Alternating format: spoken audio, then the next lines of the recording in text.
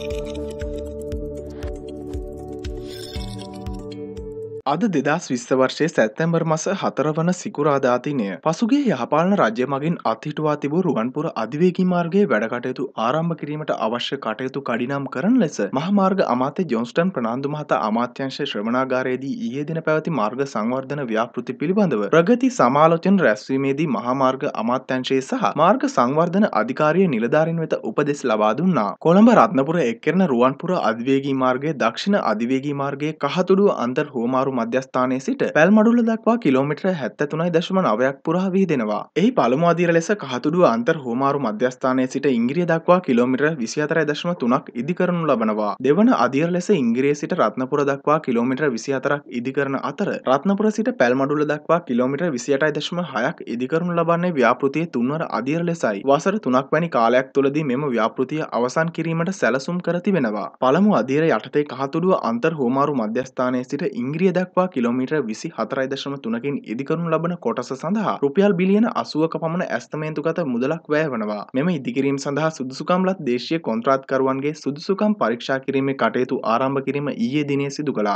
එම අවස්ථාවට ග්‍රාමිය මාර්ග අවශේෂ යටිතල පහසුකම් රාජ්‍ය අමාත්‍ය නිමල් ලංසා මැතිතුමා මහමාර්ග අමාත්‍යංශයේ ලේකම් RWR ප්‍රේමසිරි මහතා ඇතුළු මහාමාර්ග අමාත්‍යංශය සහ මාර්ග සංවර්ධන අධිකාරය නිලධාරින් පිරිසක් සහභාගී වුණා. දිනපතා ඇහෙන අලුත්ම උණුසුම් පුවක් දැනගන්න අපේ YouTube චානල් එක subscribe කරන්න. ඒ වගේම bell icon එක click කළොත් අපි දාන උණුසුම් පුවත් ඔබට ඉක්මනින් දැනගන්නටත් පුළුවන්.